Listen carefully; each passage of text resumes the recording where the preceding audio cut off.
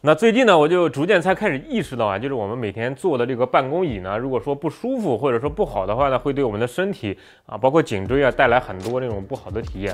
那如果说颈椎不好的话呢，可能还会影响到更多的面，比如说你睡眠可能可能也会受到影响。那我呢，就是一个非常典型的例子，我这个手是常年的鼠标手，腱鞘炎。那最近呢，也是颈椎包括这个啊腰部这一块也会经常很酸疼、很不舒服。那可能更多的原因都是坐的时间久，或者说坐的姿势不够正确导致的。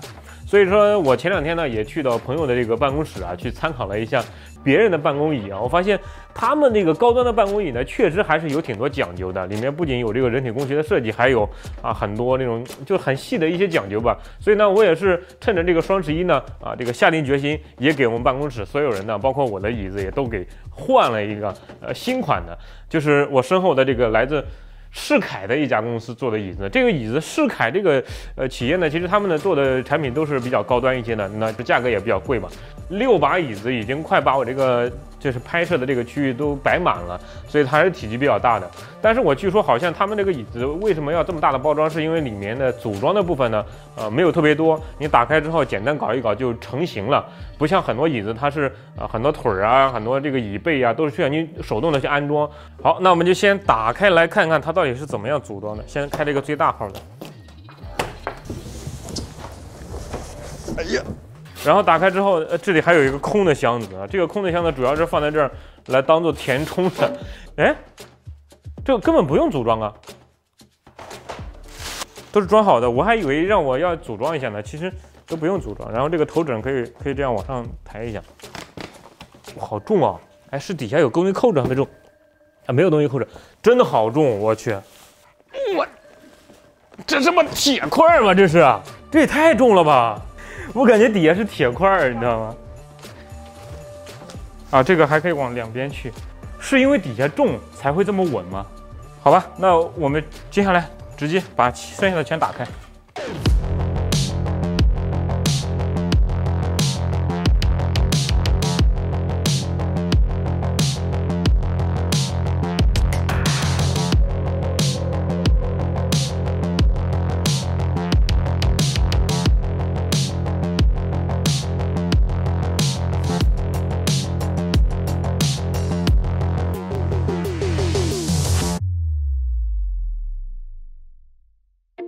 好，那开箱呢都开完了，呃，也都把它收拾干净了，所以简单跟大家看一看这几个椅子。那很明显，这几个椅子当中呢，就是最不一样的就是这一台啊，这一台。是我的哈，首先先把它署名了啊。这个椅子呢是这个品牌里面最高端的那个系列，但是不是最贵的那一款，因为最贵的那款呢，它整个表面都是皮质的材料，我不太喜欢皮质，所以说就没有选皮质的那一款。那这一款呢是比那个皮质稍微再便宜一点。那这两款呢其实是呃同一个系列，只不过有一个头有头枕，有一个是没有头枕，当然这个也会有一些差别。那其他地方就没有什么差别了。来坐上去感简单感觉一下。那其实刚才我已经呃简单感受了一下，就是这款椅子在我坐上去之后，你看它整个背面这块是很薄，但是它它会有一个曲线是非常贴合整个这个背部的一个曲线的。为了你坐下去就是直着腰的时候，或者说你往后躺的时候，贴合度的这种感觉就我不太好形容啊。当然我们之前买的那几款椅子那也不便宜了，也也 也要这个几千块。呃，但是呢买回来之后就好几个同事就已经在在椅子后面加上那个抱枕了。就是加一个枕头，然后这样的话，你坐的时候腰这块支撑会稍微更舒服一点。所以从现在坐的这几个椅子换过来这个椅子之后呢，你往上一坐，明显感觉到这个贴合的这种感觉是不太一样的。那这一款呢，其实和这个是呃完全一样的，只不过就没有上面这个头枕了，这个背部也是很贴合的这样一个设计，所以就是这样的一个区别。但是其他部分啊都是一样的啊，我还是做这个吧，做这个来给大家演示一下。首先这个我觉得比较有意思的一点呢，就是包包括这几款都是一样的啊，就是它底下这一块。就是坐的这个坐垫是可以前后移的，你看现在是最靠前的状态，我扭这个就可以把它扭到后面去。这几款都是可以移动这个坐垫的。然后还有一个比较有意思的就是这个，就是这块托的这块，呃，有点类似我们显示器上的那个摇臂或者说那种支撑架。你按住这边有一个机关，按住之后呢，就可以上下去去调整它的位置，始终保持托的这一面呢是水平的一个状态。然后如果说你想左右移的话，也可以这样移，你看到吗？所以这个是我最喜欢的，当然它也是最舒服的。就是在这几款当中，首先它背部很贴合，然后呢还有头枕。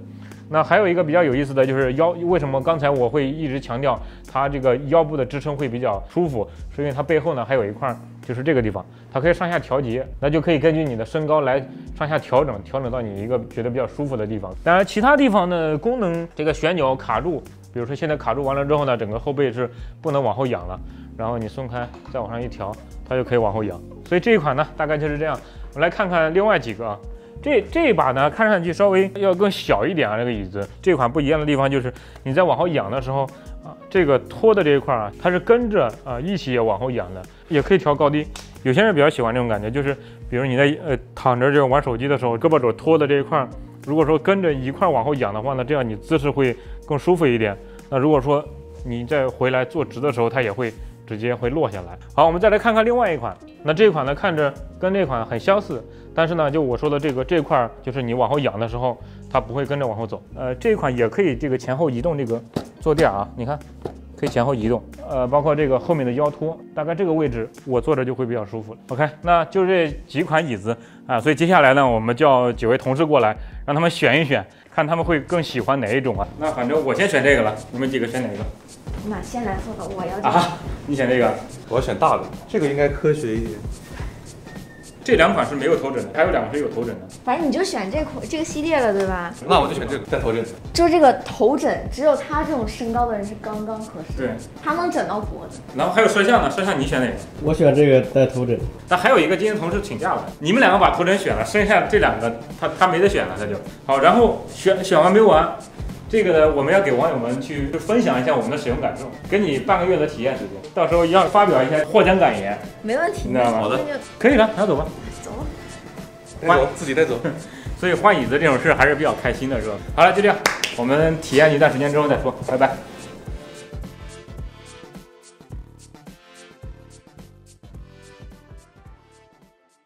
怎么样？第一感觉？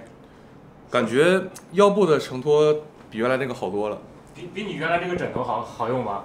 原来这个就是意思一下，但是坐上这个椅子就会感觉，你原来这个枕头它托呢，就托的位置可能不对。这个确实是有感觉到腰托的感觉。所以我告诉你，人体工学设计不是这个瞎写的，它真的有人体工学设计。确实，我坐你这家，就是第一感受，我就是有钱真好，就是对自己好点儿。就是有钱人的生活，你知道，你坐个椅子都这么舒坦。我跟你讲，为什么我选不带头枕呢？因为我长期就是办公嘛，哈，就脖子不舒服。哎，你知道我平常我这个我喜欢怎么用？我这样。啊，这这，这想怎么躺怎么躺。对，就这么躺。然后你看这把手，哎，我还可以这样。对吧？然后你觉得椅子有点有点那个想躺的时候，你还可以往前调，然后就半躺状。哦，我现在明白了。就刚才我们重量级选手，他那个必须要弄得靠前才比较舒服，吨位吨位比较大。等过两天我给你体验报告见，好吧？好，就这。你走吧，别坐我这儿。有钱真好。